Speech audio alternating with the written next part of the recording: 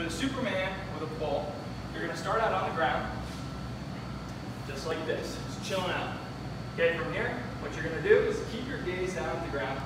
Okay, you're gonna pick up your legs, pick up, extend your back at the same time. From here, you're gonna squeeze your shoulder blades. You're turn right back down. Exhale up. We're gonna hold for three seconds. One, two, three. Inhale down.